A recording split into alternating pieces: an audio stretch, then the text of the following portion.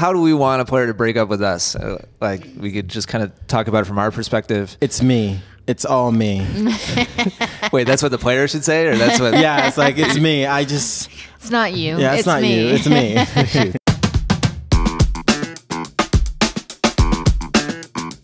Welcome to Shankcast episode number 10. Today we're going to be talking about bad tennis lessons.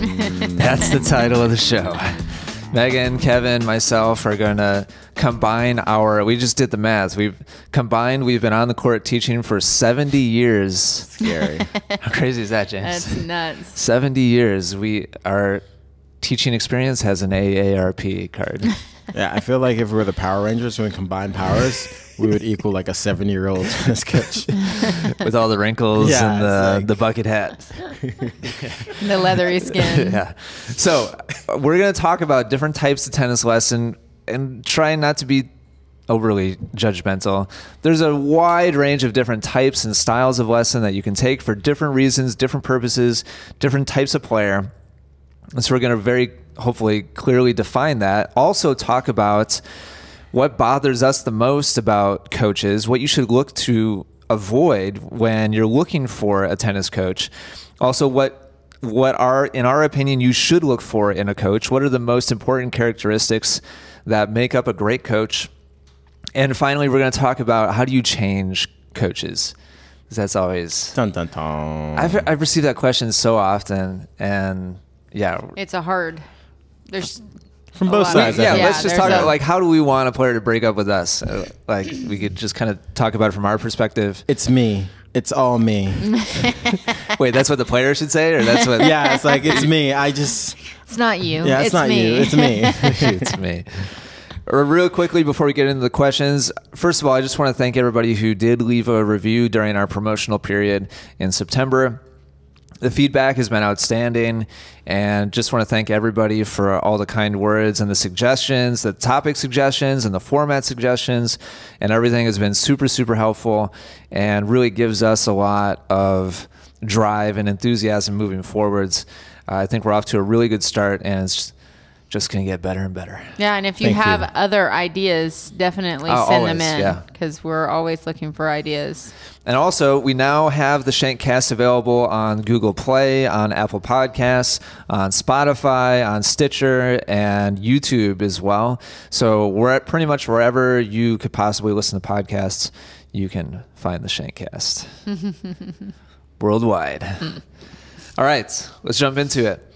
So, over the over those 70 years, Kevin, Megan, and myself have seen a lot of really great examples of excellent coaching and we've seen a lot of terrible examples of of awful lessons and everything in between. And so this is something we've just been talking a lot about in the office internally recently because we've had I think what really kind of started I mean we talk a lot about other coaches and how to coach and how to teach. We do things in a very particular way for a very particular type of player. And so I think that's important to point out first and foremost is that like we're not super I mean as fun as it is to judge other people sometimes uh, that's not like our our goal here is to sit here and and talk about why all other coaching is is bad and why all other coaches are bad. That's not at all our personality or our mission or our you know culture here at Essential Tennis. But there's a lot of lessons being given that players just don't know the difference between what is going to move the needle for them and what is not.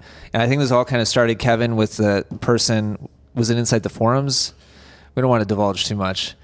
it wasn't an email. Well, it, it doesn't matter. Somebody sent Kevin a video of a whole tennis lesson and basically just asked for feedback, right?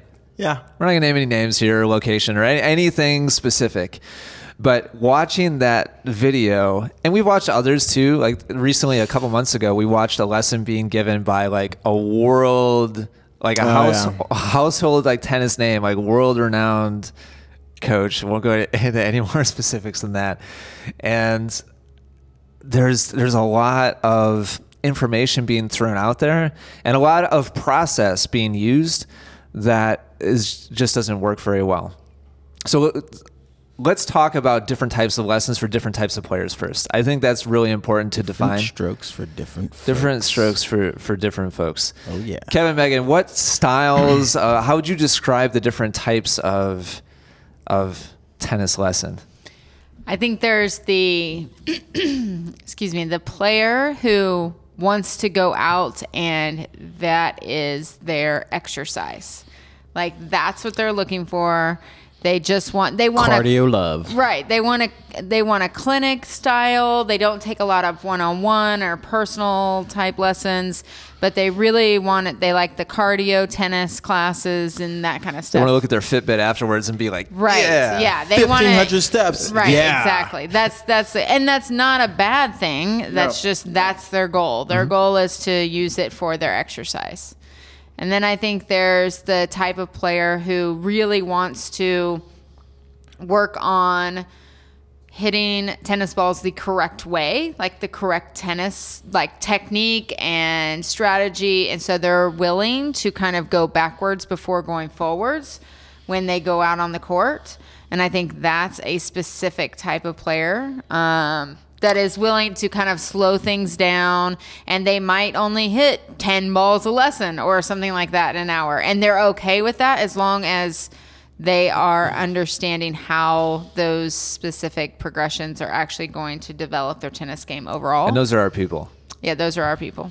And then you have, I mean, there's people in between. There's people who want to get better. specific. Oh, sorry. Oh, uh, okay. Maybe you're about to touch on it. So there's people who they want to get better. It's not like they don't want to get better, but they really are looking to hit a ton of tennis balls, and that's their belief on how to get better. And and and they're not willing to go backwards before going forwards. Like they Yeah. just want to make a lot of balls, and that's okay too. Like that's their. I would kind of break those into two separate categories. There's definitely the player who says they want to get better, but they're not changing their grip. They're not changing their like take back. Like they're really not changing anything. they just want to kind of polish what they've already got. Again, like no judgment. Like fine. Like everybody has their different goals and like what they want to get out of it. Um, and I would kind of put that in as slightly, maybe it's a subcategory of the uh, the other one that you mentioned was somebody who just wants to hit a crap load of balls. And it's not necessarily about steps. Like they just believe that the more balls they hit, the the more And and I just want to clarify, advance. there are plenty of players out there that hit a ton of balls and they do get better.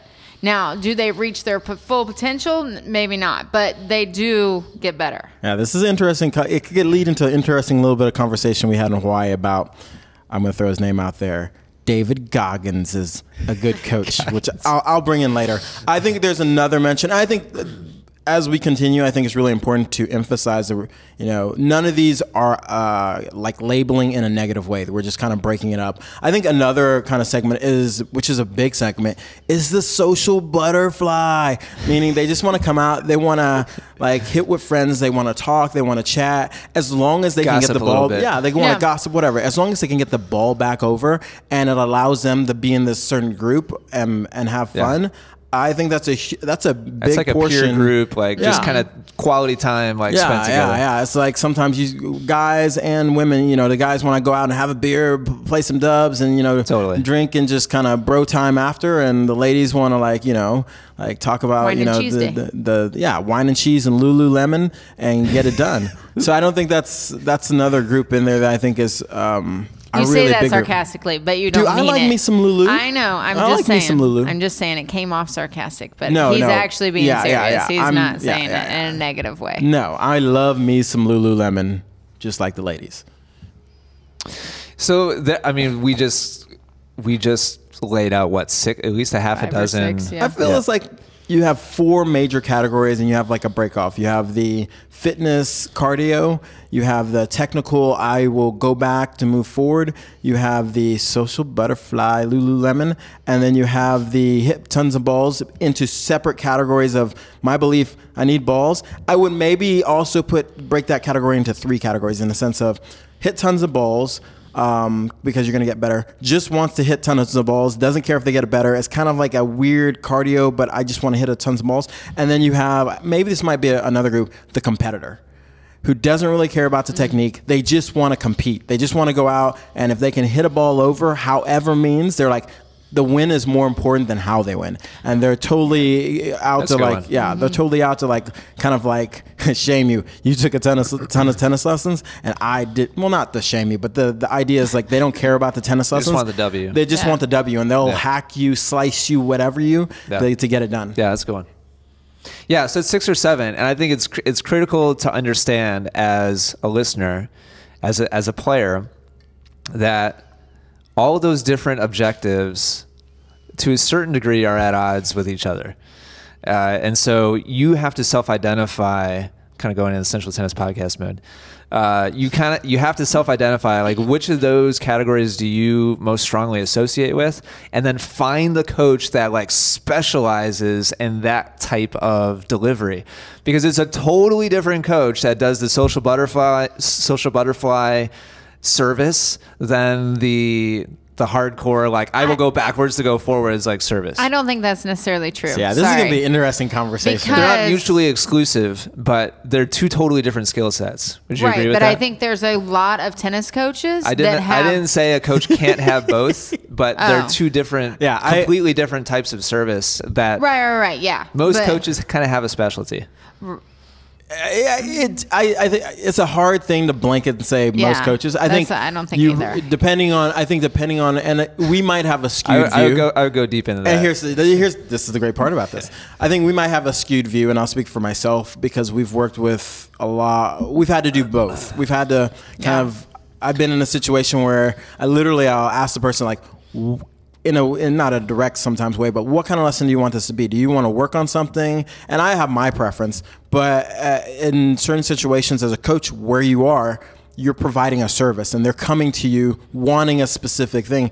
And I think in some sense, and we'll get into it, what a good coach can do is provide the service that the person wants. Yep. Now, whether you believe as a coach that's what they need, they're coming to you and asking you to provide a service. So I think that's one key element of, you know, Well, also how you here's the- categorize here's the your problem. coach. All those different like subcategories of service are all called a lesson.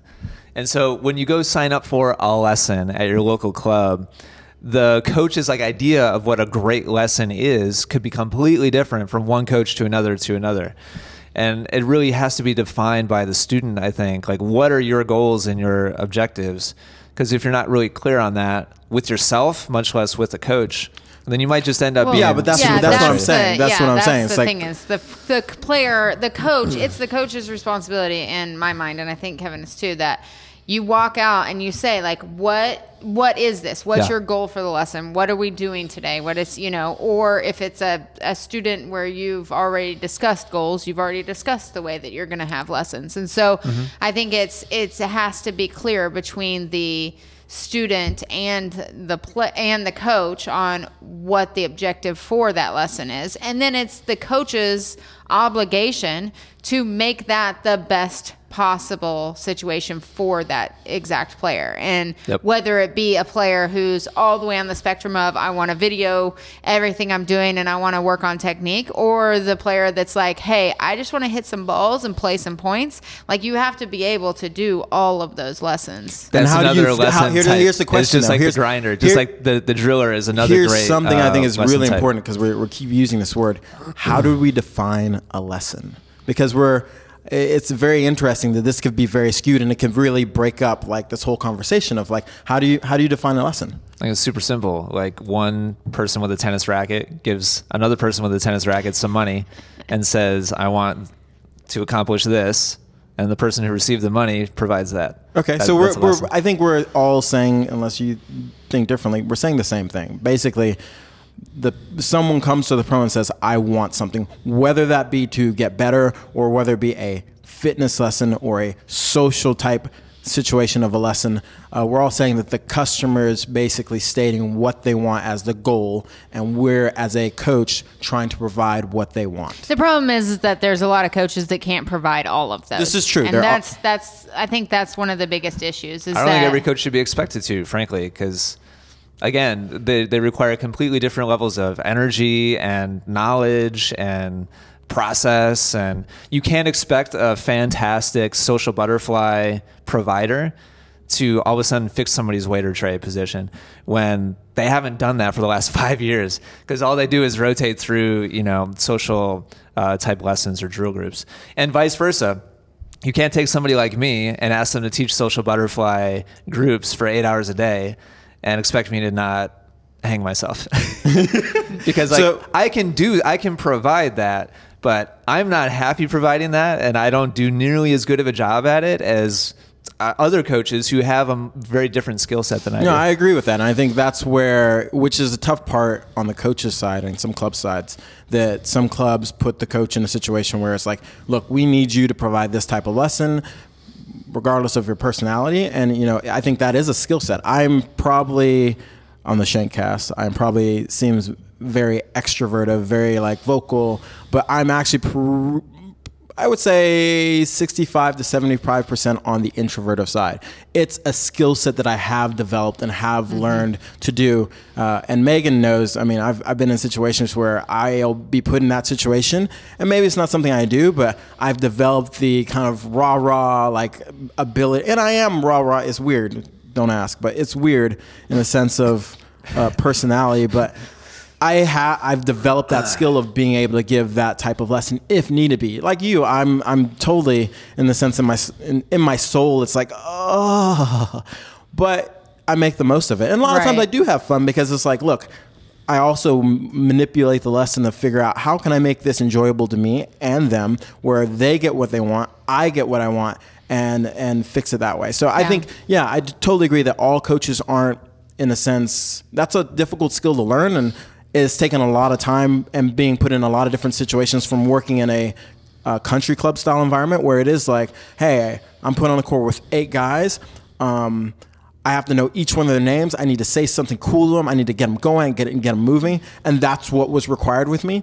Uh, for me at that time, and then working with high level juniors, where it's like, look, you need to develop this player Yeah. so they can win tournaments. And there's a lot of different skill sets. I think w- what makes the difference is the coaches um, motivation to do one or the other. Some coaches aren't motivated to become that kind of coach. Exactly. that You can put me in any situation. And I think this Right, is the Some problem. coaches- because if you walk, you walk into the club and you see the lineup of like a head pro, assistant professional, blah blah. You got your six coaches, and it says ranked blah blah blah as a junior and went to XYZ like college and ITF, you know, yada yada yada.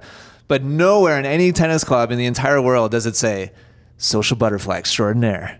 Or like, you know what I'm saying? Like it does you don't know like what that coach's like real strengths are until you get out there on the court and you like actually find out. But I think most students don't know what type of player they are either. I mean, Absolutely. and that's Yeah, I I, think one of the biggest things I always did with any of my adult lessons, anything, is I said, okay, what is your goal? Like I knew Mm. every single player, But a lot of players aren't honest. They'll, they'll know and they're not honest about it. but if you play with them enough, you will know what their goal Yeah. is. And so the thing is, is that there are plenty of players where I said, hey, this is what you told me your goal is. This is what's happening. And they aren't lining up. And so we either need to reevaluate your goals or we need to figure out a different I change feel like a lot coaches. of coaches just don't even have that conversation. But the, that that I think is the biggest issue for me, at least. I think that is something I'm very very strong about. I mean, I was specific with all of my students that I taught across the board. We sat down off the tennis court like at least twice a year and went over goals. Period. Because without goals, I can't be the best tennis coach for them and they can't actually see the improvements. But I feel like that in and of itself is like counter counter to the social butterfly, for example. No, I had plenty of people who di- who wanted that. Like they were like, my goal is to have fun. You actually you Yeah. actually had people paying you for lessons who 100%. were like, Hundred percent. my goal is same as the last six months. I just want to laugh and run around. Yeah, they wanted to Wow. get better. I'm actually surprised anybody Well, would tell you that. No, they wanted to get better, but their biggest goal was to play on the team. Like Yeah. they wanted to play on that team. And that was their goal. And I was like, great, that's your goal. I'm going to make it to where you can stay on that team. You know, when they start to move up or whenever you're going to be able to be part of that team. And these are the things that we need to make sure that you can do so that you can make enough balls over the net and you can do certain things so that you can play on that But team. you just And- you but just it- changed it again away from having fun to playing on this team, which is a totally different conversation. Here's, I think, another thing to might it's balancing between both. It's also how we're judging better. Because I think in our minds as a tennis coach, you can get down this road of like, if you're not making such and such balls, you're not getting better. If your stroke doesn't look like this, you're not getting better. And in their minds, they're like, I'm having a lot of fun, so I must be getting better. So I think that's a, a really hard, tough line to hoe because you're talking about, you're asking about goals, Megan, and you're saying that, like, you know, maybe it's a social thing. And you're like, hey, you got to make these balls to stay on this team. And they're like, hey, maybe I make one more ball. It doesn't matter about the technique, and I can stay on that Right. team. I've gotten better. And I think that's, it's a tough thing to, as as looking from both sides. It's a tough thing is because we get so locked in as a coach that you sometimes just see better Yeah. as a technical better. definition, Yeah, yeah. it's our definition versus theirs. And I think for me, as we go in, and this may be segmenting in because I think we spent actually a lot of time on this first question, just venting. It's the Shankcast yeah, way. is that what makes a good coach for me? And I don't know if that's the next question, is it? Uh, uh, a couple down is what should people look for in a coach? Okay. Well, can I go into what? Can I say one Okay, thing yeah, yeah, can I think that. one of the things though is that if a player is looking for an individual coach or a coach for their team, then that's when that goal, you know, what are your goals, that kind of thing happens. I don't think you just like walk around and start giving advice to people who don't want Yeah. like while you're while they're playing you know if they if they just want to play and never have any instruction then they're not going to take clinics or lessons or that kind of stuff and so i feel like there's that's people what you're saying maybe this is the- where there's kind of disconnect because uh, where i was last teaching people paid for lessons and didn't want instruction and so uh, it sounds like you're assuming I've had that too, where you become a, kind of a little bit of a ball machine, and they just want to Yeah. receive balls. And I think it's a little I don't bit think kind i've of actually ever had that i've had all kinds of those and A on the social bit. side and the drilling side I, have, I love the drilling ones where somebody just kind of wants to tune up before whatever a tournament Tune or up, the like club, Oh, yeah. the club I'm championship not that or nice. whatever I, I just literally would be like, I if you don't want those. me to teach, I, there's plenty of times where I've been like, if you don't want me to teach you, then don't be on my court. And I think to talk about that, it's like a lot that, about though. personality. I think as you become a coach and you've coached somewhere for a while, you develop a reputa- reputation for certain areas of focus. Like, um, I feel like Megan was always really good with like really big groups where you could have like a group of men or a group of women and you could get them to, as a group to get better and blah, blah, blah, or with juniors and stuff. I was a very, like I, I felt like people know knew me as like a very technical person. Like adults would come to me and say, "Hey, I heard you do really good job with the one-handed backhand, so I want to take a one-handed backhand lesson."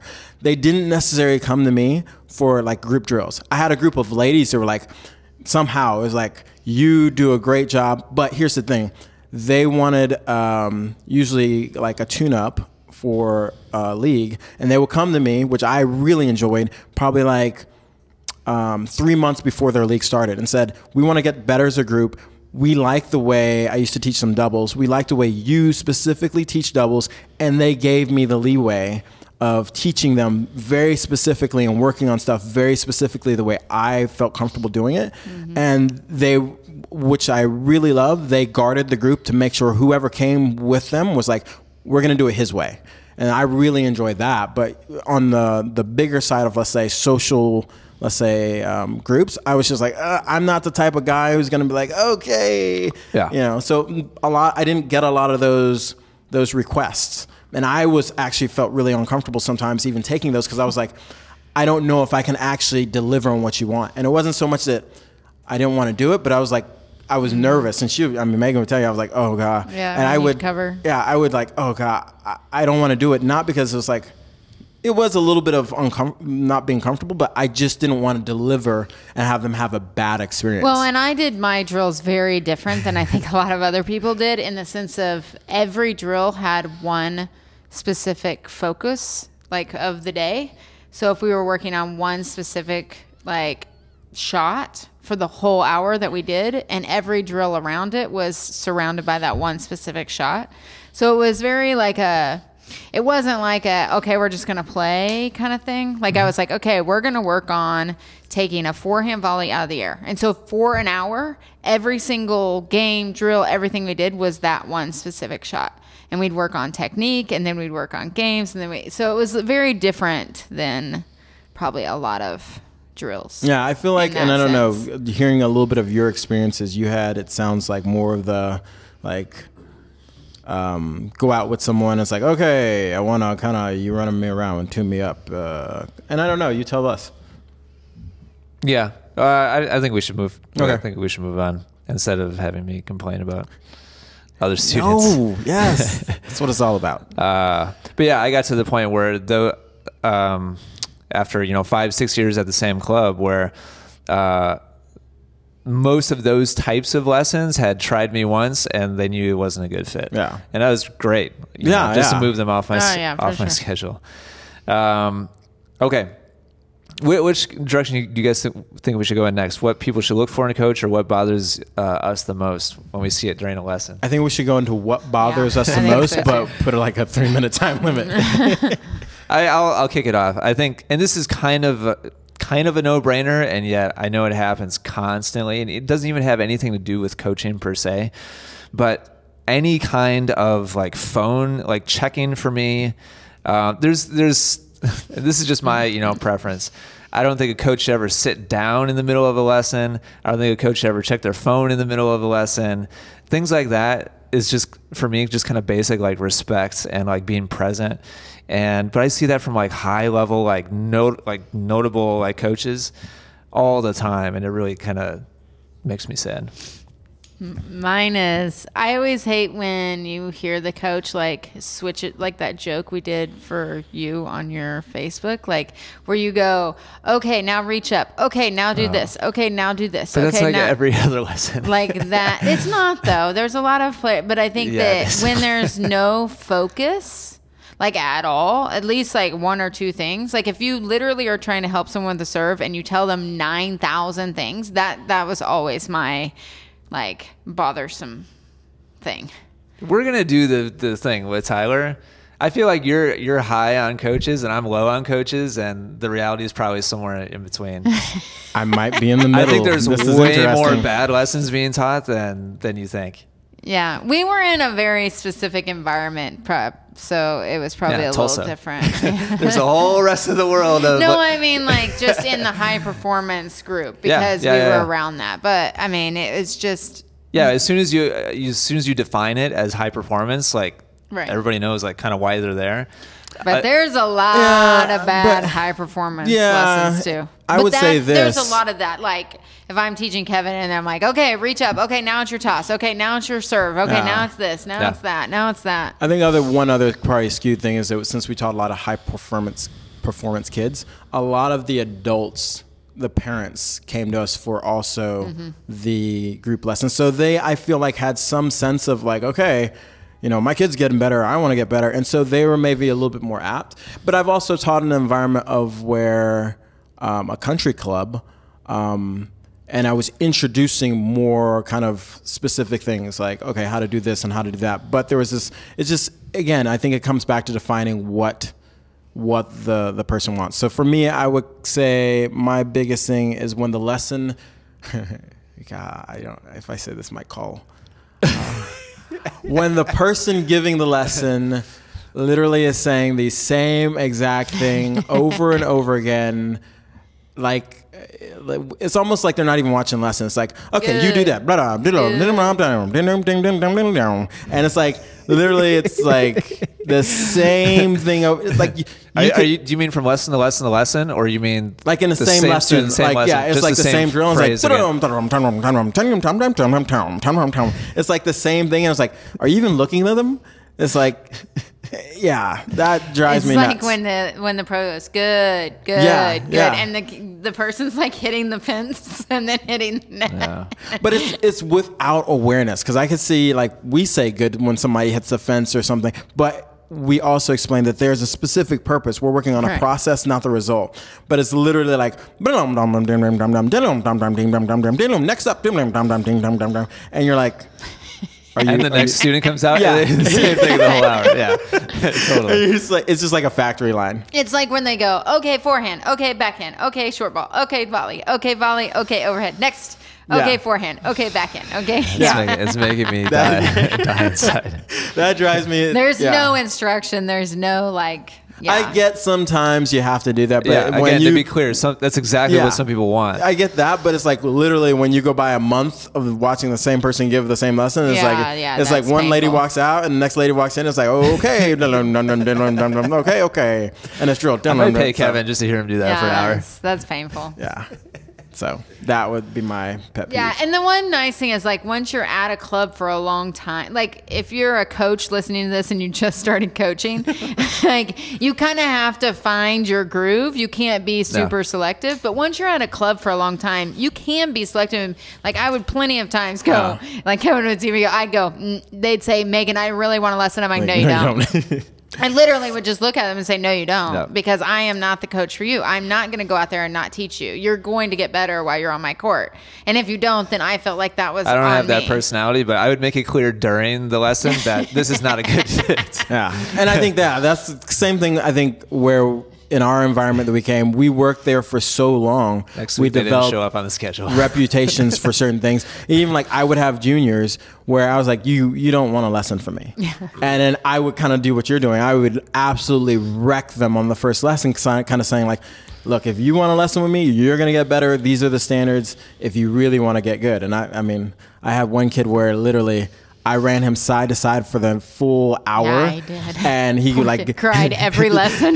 not every lesson, but I mean, there, there was a moment where I knew he was a little at the point he was a little soft, and he like would kind of fake roll his ankle. And he'd be like, I can't go. I'm like, if you don't Every get lesson. up, if you don't get up and run, and he was just. But after a while, he actually got better, and he was like, this is the standard. And I'd have some kids to go like, I don't want any piece of that. So they knew. It's perfect. Yeah, and so i kind of that was my my kind of like gatekeeper. I think all three of us are in the idea, though, that if you walk on a court with us, we want you to get better. We're, none of us are like Yeah. want to just like hang out with BS. you. There were Yeah. plenty of times where I would have like a lady or two that would come out, and I would say, "Do you want to go have coffee instead of have a lesson?"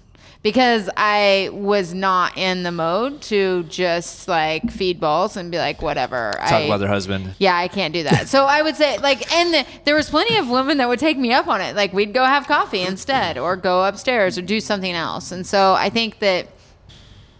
But I, I would hope that every coach wants their student to get better. But I think here's the thing for me. But that's I- us. yeah. You know, that's what we that's what we would hope. One thing is, I think on coaches' sides in the beginning, some of them don't know how to get there. Because I remember that struggle of like, how do you act? I was curious, like, how do you change something when someone has a bad habit? And it was like that took a long time. And to say, I'm talking about the end of the point where it's like we could be selective. In the beginning, it was like literally like I Yeah, would take anyone and it was everyone. Like, you you have a racket and you want to learn. It's like you have to develop that and go through those times of maybe teaching a lot of lessons where people want to have fun and you find that one person and then you make that person um, better because i think a lot of where at least my standpoint it was word of mouth. I was in the beginning it was like i was just trying to get everybody in and then i do the best i could and it was literally like more people that got better were like oh kevin got me better at this. And the people like uh kevin and i didn't have that much fun with kevin would kind of shake out and but i think it's in the beginning you do have to do a lot of lessons that are maybe what you don't want to get to the point where you could be selective where you know in after a while we were really lucky to be like super selective about the adults and the the kids and have those really candid conversations of like you don't want me to teach you All right, let's move on. What should people look for in a coach? So we've talked about some of our like pet peeves. What what are the traits that and I on the Essential Tennis podcast, it's kind of nice because I can very safely assume like exactly who's listening. I feel like this audience might possibly it probably is uh, different. Like not everybody is super like hardcore on that one uh, kind of path of like I think you described it really well. Like being willing to take a couple steps back before going forwards. Not everybody's open to that. So I'll start with one and we can kind of go around the table. I think some just to go back to the pet peeves again, I think some of the worst coaches are the ones that just don't listen. and like their student is is trying to show them or tell them that this is not working for me or this is not what I wanted or there's, a clear like personality like mismatch. And a lot of coaches are just not very empathetic um, even within even if the student and the coach are there for the same reason uh, if the coach isn't really paying attention to signals being given by the student then the student can sometimes be taken in a direction that's that's just not at all really what they wanted. I'm being a little bit vague but I think you should look for a coach that listens just as well as they talk. And there's a lot of tennis coaches out there that are tremendous talkers, but uh, don't necessarily listen very well. Um, so I'll, I'll, start with that. I think um, having a coach that's willing to talk about where you want to be in the future, like your goals, is really important. Um, not only does it hold the student accountable, but it holds the coach accountable. Like if you are with the same coach week in, week out for six months and you don't see any of the goals that you guys said that you wanted to achieve, then you need to find a new coach. like that's just, and I always was really big upon that because not only did it hold my student, like, okay, this is what we said is we're going to do. But it also held me accountable to say, okay, every time we step on the court, we're going to work on something specific to put you towards that goal. Um, and so there wasn't any inkling that I just wanted to go out and like hit balls for a day. Every single day had to be focused because I had the same goals as they did. So I felt like that. And I, I feel like a sorry, sorry, I feel like um a coach there are plenty of coaches who don't want to take the time to go over goals and i feel like that's kind of a red flag for me. Hmm. i guess i'm going to start off a little differently. I think what makes what helps make a good coach is making sure you understand first what you want. Because if you're expecting like if we just give you at least in my opinion a definition of what makes a good coach by our perspective i think I will least listening to us, we're talking about how do you get better specifically at tennis technique or something like that. So I think first of all, it's really understanding what you want from the coach, and then figuring out what's the criteria that makes you feel good. So I feel like you know, Ian, you're talking about listening. I think that's tremendous that most coaches don't understand body language or or Eye subtle rolls. hints. Yeah, body language is huge as a coach. When you they're doing something, you can just see the like the awkward, the the body totally, hanging down, totally. and like the silence yeah, yeah. and this like you don't this feel energy horrible. energy, and you're like totally. Ooh. See that so much. Yeah, a lot of coaches don't feel that. Um, I think like Megan, you're talking about goal setting. Great when players really want to get better because I think that accountability to have accountability with your coach is huge. I, I used to do the same thing as saying, give me 30 days. Like if you check back with me in 30 days and we haven't made some sort of progress that I promised you, then you need to literally, I'll tell them, you need to get rid of me. Or um, I think another thing is having a coach, and I'm speaking from the realm of getting better technically, stuff like that. Um, having a coach that's willing to say either, let's try something different. Um, I learned something different and I want to work with you and see if this will work with you. Because I think some coaches get embarrassed when maybe they they they learned something new and they've went down this route of the old ways so long that they can't go like hey maybe i was wrong about that and we need to try something just different. And so what happens is uh, uh they've invested so much in the old way that they can't change to something new and they're like embarrassed to say like yeah maybe this way i was teaching it, it didn't work as well let's try something. So i personally you know, I think a lot of coaches either go to a conference and they see something done new and they're like, I can't go back and say that because that completely contradicts what I've been showing this person. But I think the student really appreciates it because, like, oh, okay, well, you're you're actually trying to do something different to get me the result compared to maybe just bum dum dum dum dum dum dum dum dum dum dum dum dum dum dum. Oh, you're not better? Okay. Bum dum dum dum dum dum dum dum dum dum dum dum dum. Uh, so that's my kind of thing. I think you look for a coach if you're trying to get better um, as someone who's willing to try different things and say, "Oh yeah, so and so was doing this. Maybe I'll try it with a purpose to to improve." I'll just uh, kind of piggyback off that a little bit, and it's, it's kind of a subtopic of the same uh, element, and that is. Um, I don't remember how many modalities are of learning. It's either three or four. Uh, kinesthetic, uh, visual, au- auditory. It's five. VAK is the first three, and then you have uh, olfactory and um, what's that?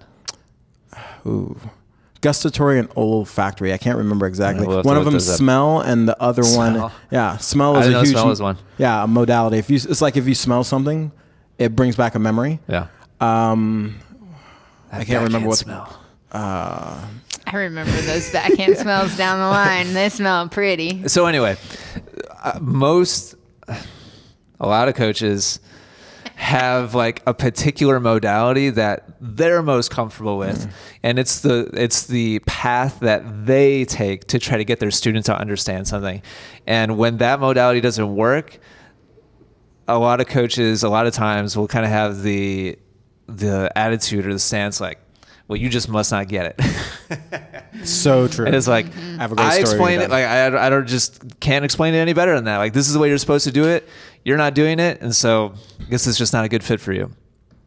And I, I would say that players should be looking for a coach that can shift modalities and do something that's like they're guiding you kinesthetically and then maybe explain it with a, uh, a different uh, analogy or a visual or something like that demonstrate it for you if you're if you're working with somebody who cannot be uh, plastic and flexible and shift then the two of you will probably just be frustrated. Yeah, there are so many times where I would be teaching, and I I've always like you have to go and like explain it 10 million different ways. And then if i couldn't then i would always ask like okay, kevin can you come over and explain this? Because maybe what he's saying will help out. And i think a lot of times uh, coaches are unwilling to ask other coaches for help. Totally, yeah. uh, because they're like i just there's you're that. supposed to be the, the man or the, the woman. You're supposed to be the expert. Yeah, and and I feel like like you can always learn as a coach from all the other coaches out there, whether it's good or bad.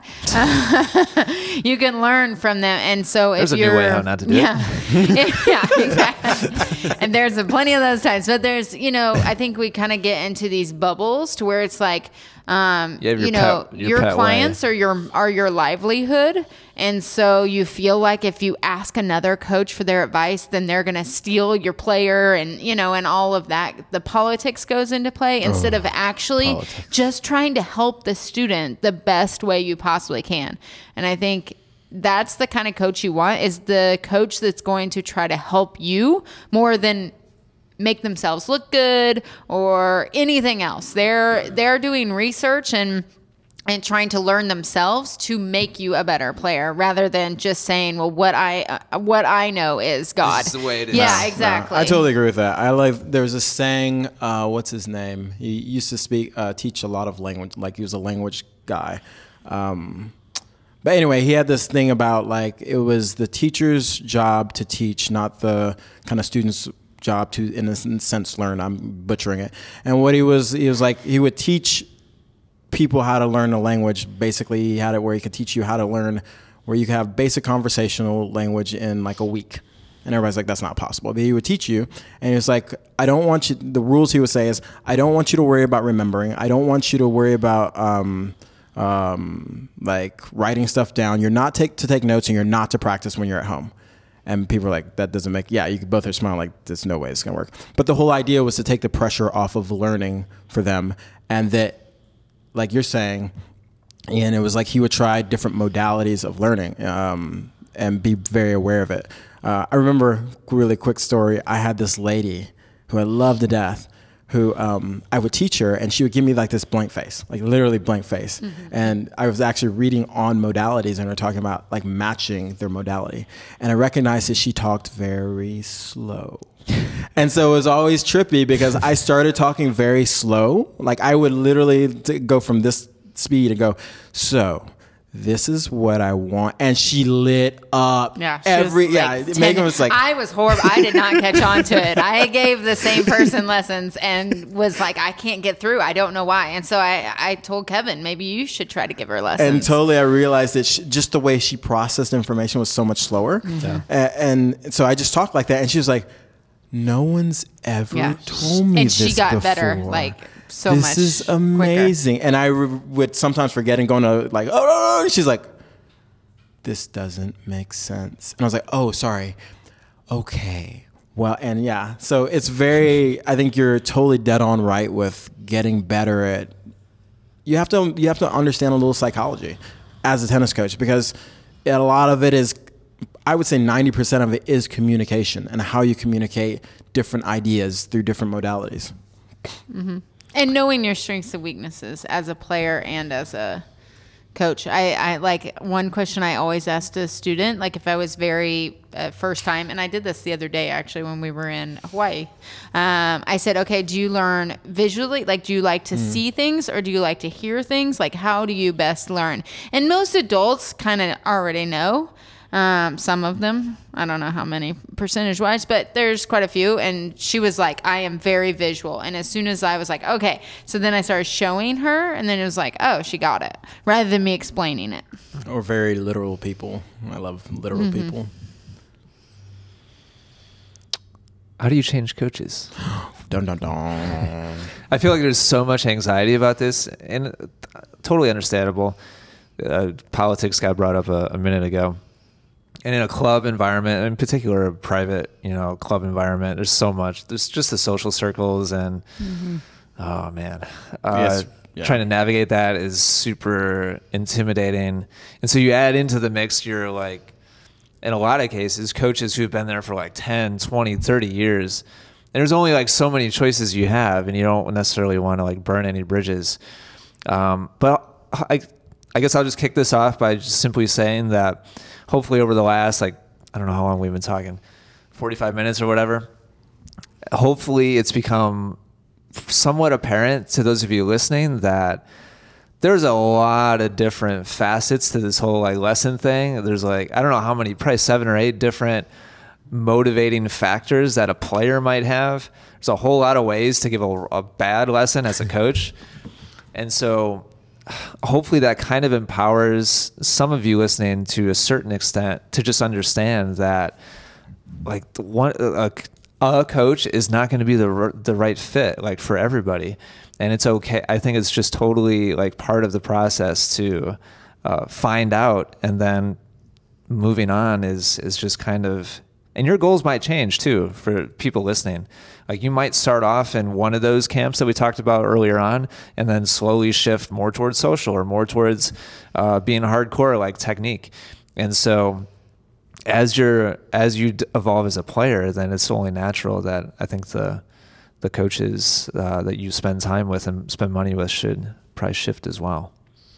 So Thoughts do on how to that? navigate that? i think it yeah I mean, i, I- have a specific way that i think I would is the want I would want a student to just be honest, a- Yeah. and, just be like, you know, I I've shifted you know, a little bit in like what I want to get out of like tennis, and right now, um, it's it's not a good fit. I would I would appreciate just having a a quick conversation instead of like the behind uh, Yeah. closed doors like drama. I think that's the big thing. And I think that uh, there were plenty of times that, you know, um, players and, and myself did not, were not a good fit.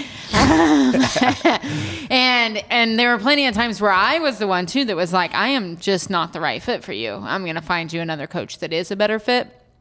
And so I feel like if the student would come up and say, "Hey, you know, like I just I'm I'm thinking about trying other coaches." That's I don't think it needs to be anything like dramatic, anything crazy. I think where it gets dramatic is where they go like to another coach and then they're like, "Hey, I want to switch to you."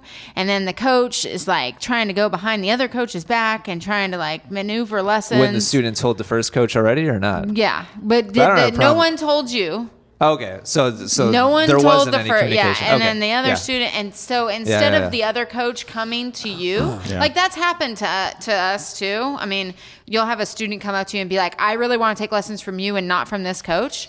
But instead of being like okay great like you what we what i would do is go up to the other coach and say hey this student approached me. I'd like you to talk to them and see where you guys want to meet before I ever get Yeah. involved. And then if you feel like it's best that I give them lessons, I'm totally there. If Yeah. you feel like it's best that you guys stick it out, I'm totally going to support you 100%.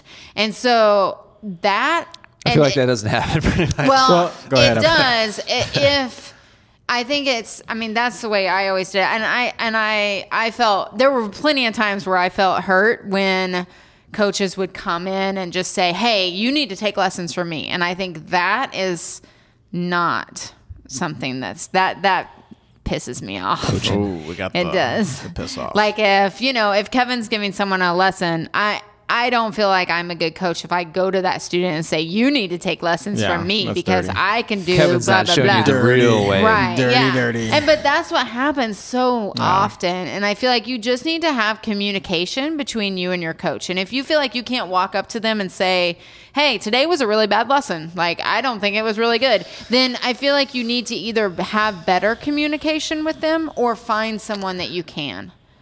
Yeah, I agree. I would say um, there's so many different facets and different levels of it. From the student side, I think, first of all, I would assume most coaches do appreciate the student coming up and saying, you know, uh, I really enjoy blah blah blah. You, we can go. We can send out a script later. But basically, uh, I want to try something different. I want to go in a different direction. Um, nothing's wrong with you. It's totally me. It's the breakup speech. Um, George Costanza. yeah, you, you got to do the breakup speech. Um, I totally agree with Megan too. Like if and for this to happen, there has to be some level of um, community or something. I don't know the right word between other coaches at your facility because yeah, a lot of coaches eh, on the background Rapport. rapport, yeah. Uh, because on the background, coaches look at other students as like, okay, more Dollar signs. Yeah, dollar signs, or they kind of like, oh, I can do a better job than that person. So, and they're, and when it's in that sense, it gets kind of dirty. But yeah, I definitely have had a situation where players have come to me and said, hey, I would love to work with you. I'm like, well, I know you're working with so and so. Why don't you talk to him, or I could talk to him first? But we're not going to have any sort of kind of lesson Yeah. or plan before we first, um, like figure out your your initial relationship with your first coach. On the other side, on the flip side, I think it is hard for a lot of players to go up to their coach and say, "Hey, that was a crappy lesson today," um, unless they're like, I don't know. Have you has has anybody ever had like a student come up to you and say, I don't think it's ever happened to me. which, to be honest, I probably have given a crappy lesson out. So it makes me more apt to either the student doesn't realize maybe they've had a, a lesson that wasn't the best, maybe because I was tired or something. Um, I feel like I've always I tried just, to give I just my don't think best. players think that they're in a position where they can Yeah, and that's the other thing I was going to say. It's, I- it's like you got your coach student Yeah, relationship and- and, that's what I was going to hint to. The next thing is like I think a lot of players walk into this coach relationship of coach's authority. I'm supposed to Yeah. listen. It's just like Just the, do- the do social, socialization of school, like teacher, student, and so there's this. I think you have to develop that relationship of having, really candid conversations with your coach. Like if if you're in the improvement route, like if you're just out there have fun, let the guy do whatever he does that make you have fun. But if you're in the improvement route, you need to be able to say, okay. Um, you know, I don't feel like we're moving in the direction I want to. But when you say that, I think because some people just say that for saying it, like have some evidence. Like I used to, I love this student. Um, I won't say her name, but loved her students. She used to document like every lesson or every mm-hmm. drill of what went wrong, and she would come up to a coach and go, "Okay, I'm not. I've I've done this. I've improved this. These are the players I've been with, and this I'm not." And she would she would literally have a documentation of everything, and you're like, "Oh wow." You're totally right. if you're a good coach, you respect that tremendously. Yeah, and I it's so rare. It's- a, yeah, and I totally did, and I was like, "You're totally right. We need to fix this." Compared to some students, like, "Well, I feel like you know my forehand," and they have no kind of. It's just like a like, you know. I Just should random be, criticism, Yeah, it's a like, random my backhand criticism. should be twice as good. It should by be now. twice as better. I've had two lessons, and my my my take back is you're like, okay, really.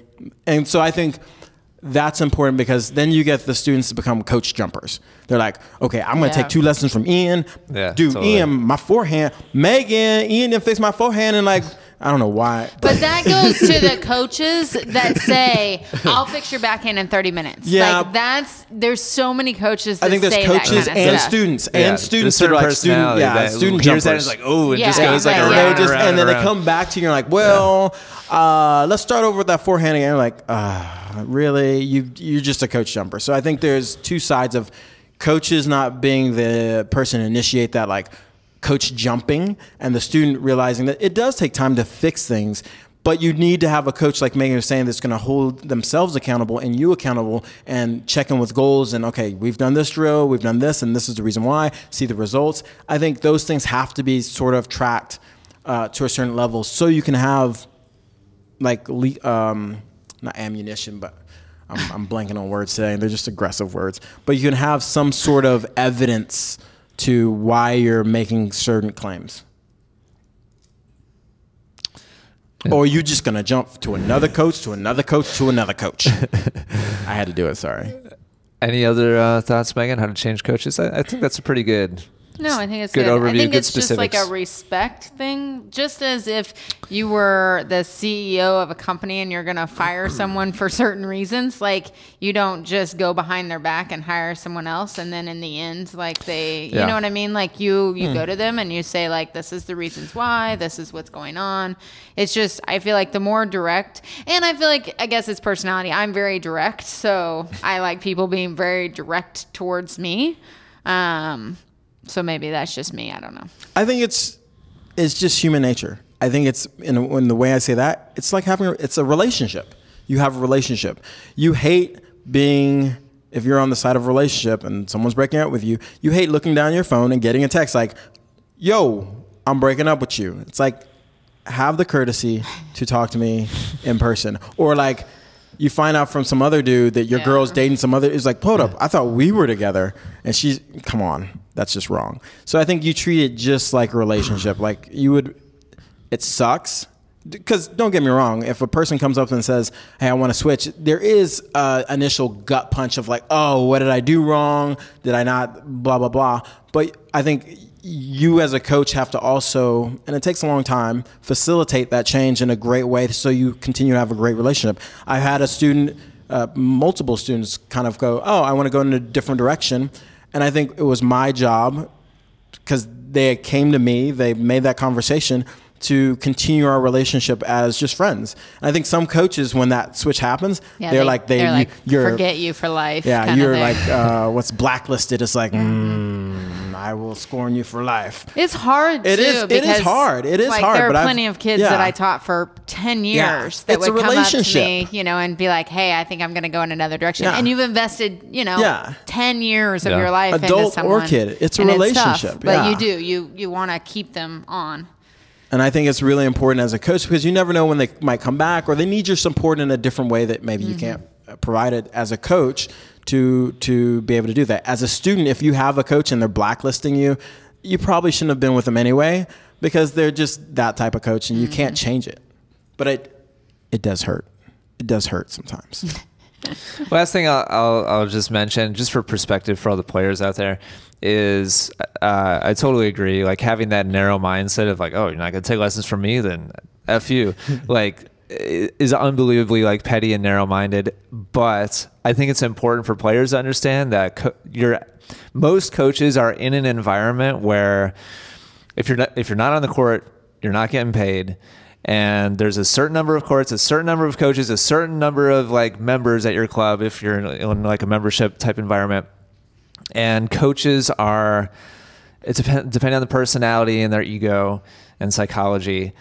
It's not it's not hard for a coach to go down that route of like I'm gonna like protect my students and screw that guy and he's wrong and I'm right and like I'm the I'm the one you should really be listening to and um and poaching I'll show you the true way. yeah poaching students from other co- like all of that happens because uh, coaches very are under a lot of pressure to maintain their their clientele uh, to maintain their hours on the court um, and so it can be tough and this is why the communication that Megan and Kevin are talking about is so critical. Um, because if you don't kind of realize the environment that they're in and respect it, then it can it can feel crappy on the other side too.